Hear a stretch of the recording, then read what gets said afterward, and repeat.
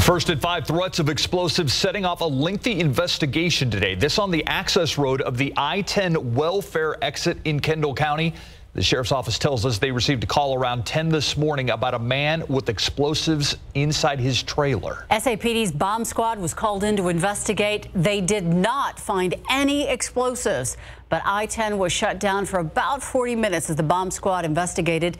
Investigators say the man had mental health issues and will not be charged. He was taken to Methodist Hospital to get the help he needs. Luckily, no one was hurt.